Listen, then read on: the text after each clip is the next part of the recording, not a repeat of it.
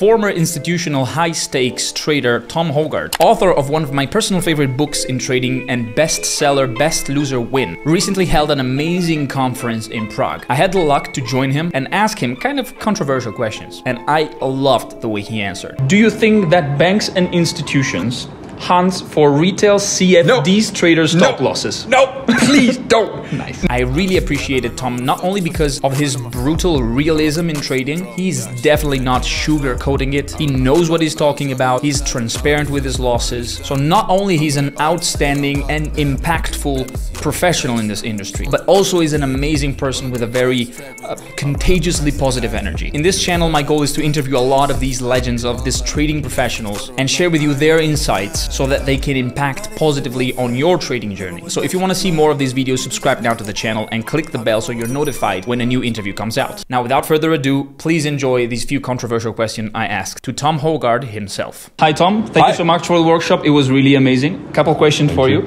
So, uh, this probably you've you've heard this a lot. Uh, if you had to choose between focusing on trading psychology or focusing on having a concrete edge on the market, uh, which one do you think has more impact on short term and long term on the on the results of a trader? That's a good question. So, say that you have a really powerful edge.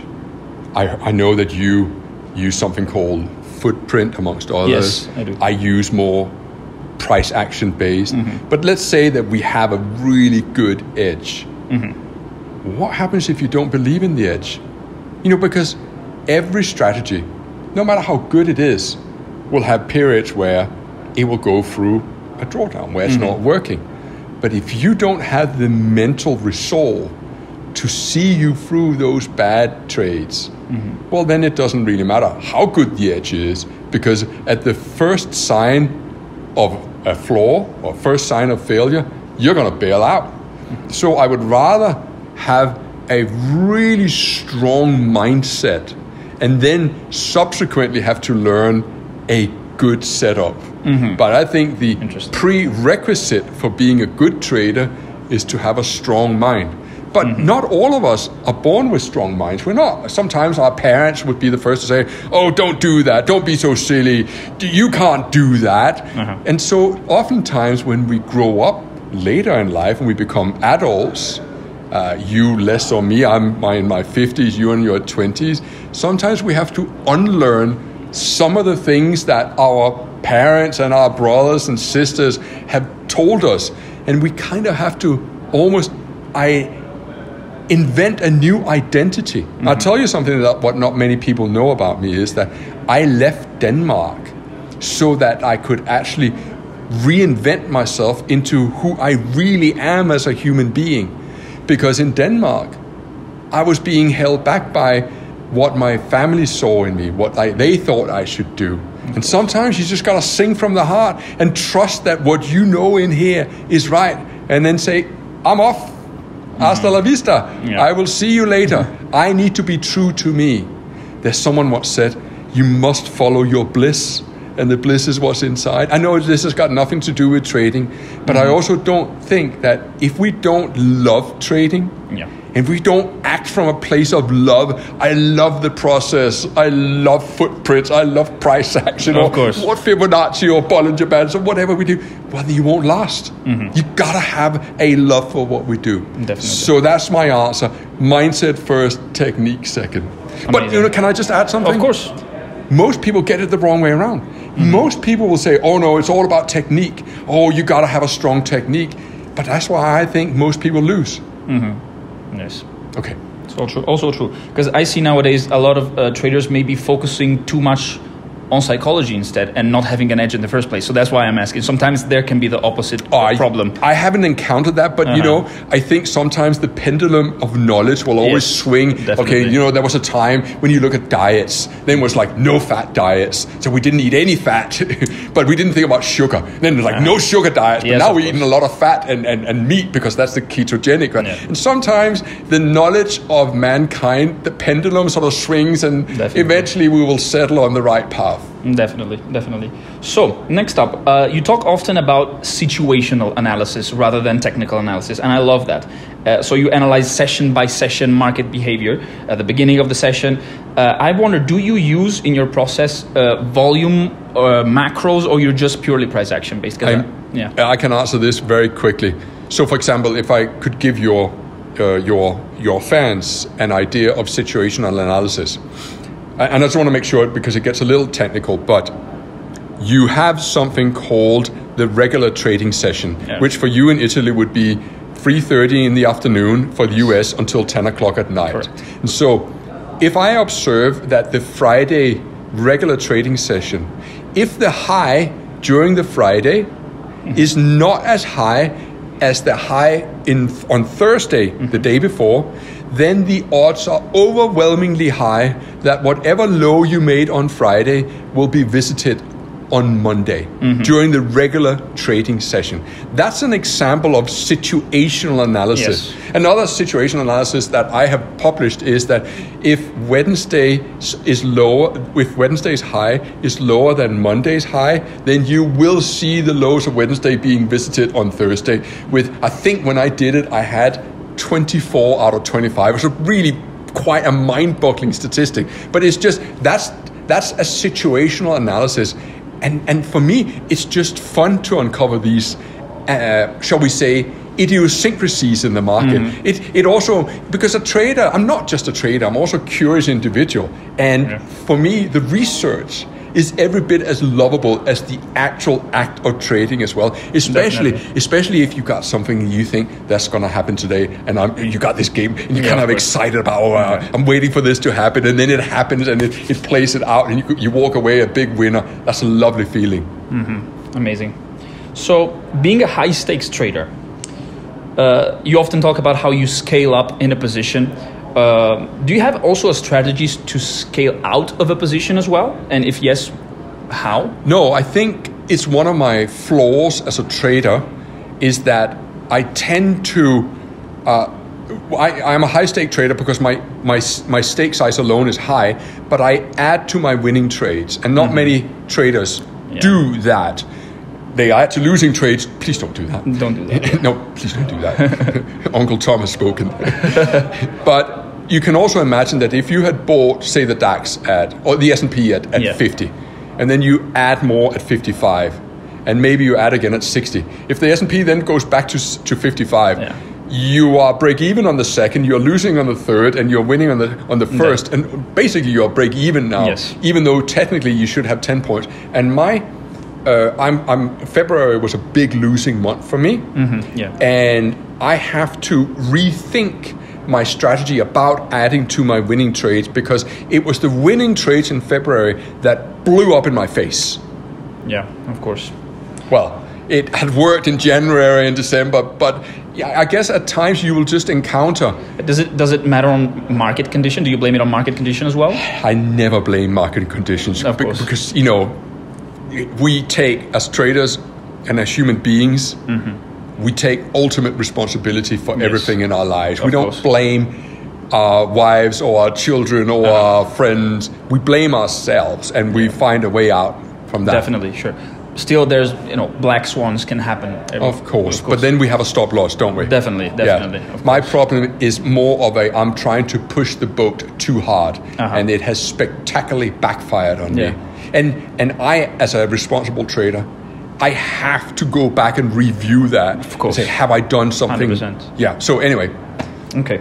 Yes. So now into really quick questions. sure. Do you think that banks and institutions hunt for retail CFDs traders stop No. losses? No, please don't. Nice. Now here's the here's, here's the thing. What I want to say to you is this. Also, you worked on a CFD broker, so Yeah, but bollocks to that. No, sorry. Don't swear, Uncle Tom. Look, uh, I did some intense work on the whole conspiracy theory Yes. of institutions chasing. yes. And one of the things that I use as a resource for my argument against it Uh-huh. is the BIS report. Yes. BIS is the Bank of International, International Settlement. Settlements. And in the Bank of International Settlement, they estimate that retail traders, which basically is still you and I, Yeah, definitely. we make up 5% of the daily volume. Mm-hmm. We are not even small fish. We are so insignificant. No, the real problem is that people like you and I and everybody else, we always place our stop loss above the old highs highs, yeah. or below the old lows because that's what we do. Mm-hmm. And we don't have big budgets either. So therefore, we are easy target. Of course. Do you know what my best friend and mentor David Paul once said? And maybe you should pass that on to your students. Mm-hmm. He said, I always like to place my orders where the crowd place their stop loss. Definitely. Isn't that amazing? I've heard that quote. Yeah. Yeah, definitely. Anyway, Uh, anyway, yes. Uh, so con- contrarian kind of mindset is always, I think, good, but getting that into the conspiracy and blaming the algorithm to, you know, I think Oh, it, the it- algorithm That was money? supposed to be the next question. Is there one algorithm controlling the market? what like a like a, a big mighty Yes. Well, if there is, Yes. I have found no evidence whatsoever. Amazing. Because I, sometimes it's turned on and sometimes it's turned off. Yeah. And you know, like I have friends that I really like as human beings. Yes. But I don't like their views on conspiracy theory. Of if I lose, I don't blame the market. I don't blame some algorithm. I blame me. Definitely. Definitely. All right, 100% agree. Um, last two, really quick like this. On a scale from 1 to 10, how important is subjectivity for a discretional trader? Would you mind defining subjectivity in your Discretion. Like knowing which. a bias? Yes, let's say a bias. All right. I wish I could send you a chart. I actually, since I'm sending you my entire Yes. presentation anyway. Yes. I might show it. Uh, yes, That you- slide, maybe. So yeah. there's a slide in there that has the data of 30,000, uh, observ- sorry, 30 years of Dow Jones history. Uh-huh. But it's in a bell curve, Yeah. and if it's below, it's because the, the, the Dow has lost for the day compared to the previous day's close. Okay. And if it's above, it's because it's gained for the day Uh-huh. compared to previous day's close. That allocation of winning days and losing days over 30 years, 7,500 trading days, the distribution of winning days and losing days for the Dow Jones Index is 49.6 to 50.4. Okay? Basically 50-50. Yeah, it's 50 50. Yeah. And so having a bias might serve you to calm your own mind, but I never trade with a bias. I never go in and say, I'm really bearish or I'm really bullish. I'm Mm-hmm. Yeah. going, hey, let's see what the market will give me. And that's why I think mechanical strategies has an edge for me because it doesn't really factor in whether the market is very bullish or very bearish. Definitely. Yeah. Sometimes maybe though it's hard to quantify some things that you are implicitly learning through experience, right? I agree with you. And also, I was very careful how I answered. I said it's not useful for me. Yes. And I have substantiated why that is.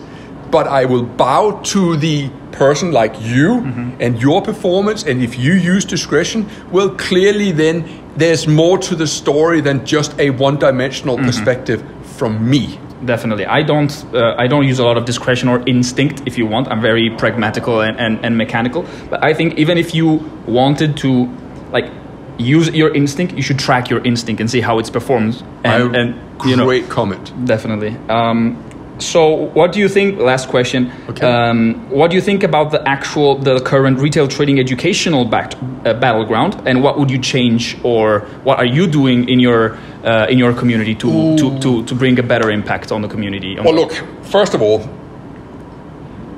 have you ever heard the expression that everybody wants to be shepherds, but no one wants to be up in the mountains? yeah. Okay, well, it's a it's a saying that I kind of invented that there's a lot of people who would like to get paid to tutor other people, and there's safe money in teaching other people, and and you know it could be a good business.